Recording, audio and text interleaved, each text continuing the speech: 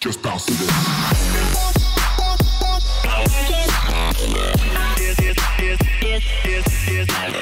Hey, what's up, everyone? My name is Brandon Clements. Welcome back to Substance Painter Part 2 of our series on Substance Painter. Right now, what we're doing is we are inside of Substance Designer. So let's go ahead and bring in some of our different uh, objects. The only thing we're using right now is a Stormtrooper helmet, so we need to bring that in. And we're going to start working and baking out of Substance Designer. So uh, without further ado, let's go ahead and jump in. I'm going to create a new graph here. So I'm just going to name this uh, ST helmet or something. Doesn't really matter. We're just going to be baking. So um, this all looks good. We're using the physically based metallic roughness. We're not actually going to be creating anything in Substance Designer. We're just going to bring in our uh, asset. Okay, so we need to right click on our uh, actual project. We need to link a 3D mesh. Um, what we're going to be using is the Stormtrooper Helmet 02, I believe. No, actually, sorry. Let me navigate and actually find out where we're at. Let's go back to our OBJ. We're going to open this guy. Here we go. So, drag and drop this Stormtrooper helmet, and we're looking pretty good. So, let's go ahead and start talking about baking. Uh, what we can do in here is right click and say bake model information. Uh, this is what we'll get as soon as we open that window and we need to try to bake uh, some ambient occlusion. So we'll go ahead and say ambient occlusion. Uh, we do not need to invert the normals. Uh, let's have our quality at very high. Okay, and then we have the folder structure. We're going to use PNG. Our output size 4096 by 4096, and our UV set is um, perfect how we need it.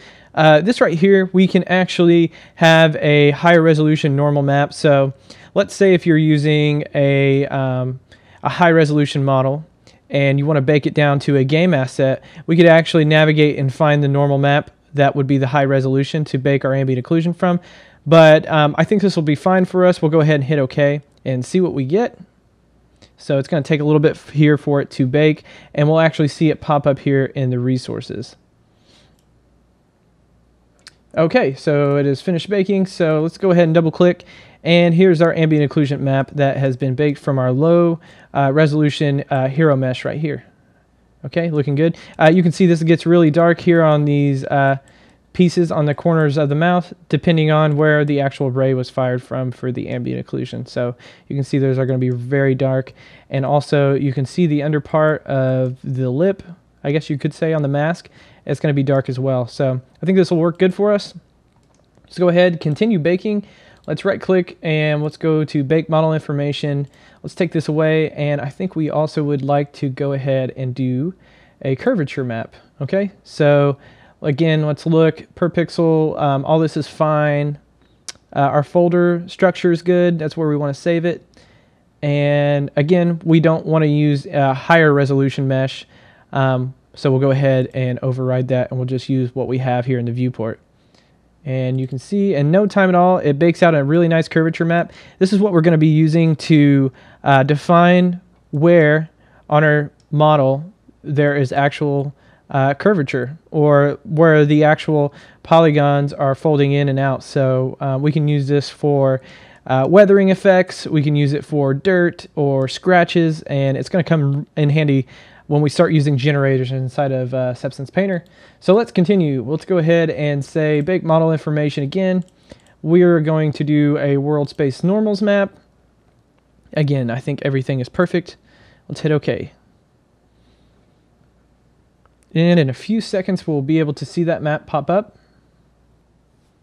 Okay, so that one took a little while to bake, uh, just a couple seconds. Um, but now you can see this is going to be our world space normals map. Again, uh, our generators are going to be able to take advantage of this map. So let's look at the menu here. Is there anything else that we need? I think we're going to be able to use the position. So let's bake that as well. All axes. Um, everything looks perfect. Let's go ahead and bake again.